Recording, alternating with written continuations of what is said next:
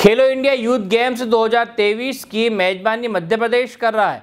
प्रदेश के आठ शहरों में 27 खेलों की प्रतियोगिताएँ होने जा रही है।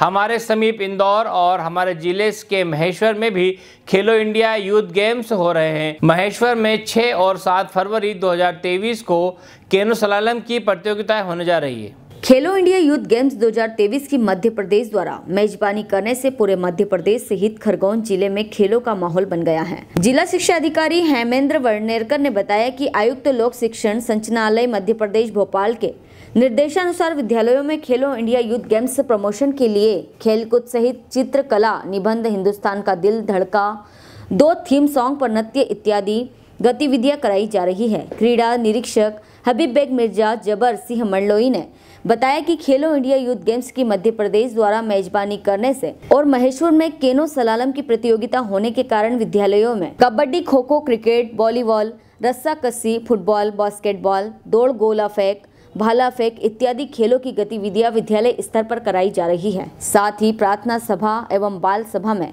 विद्यार्थियों को खेलो इंडिया यूथ गेम्स की जानकारी शिक्षकों द्वारा एवं खेल शिक्षकों द्वारा दी जा रही है। खरगोन से ब्यूरो की रिपोर्ट।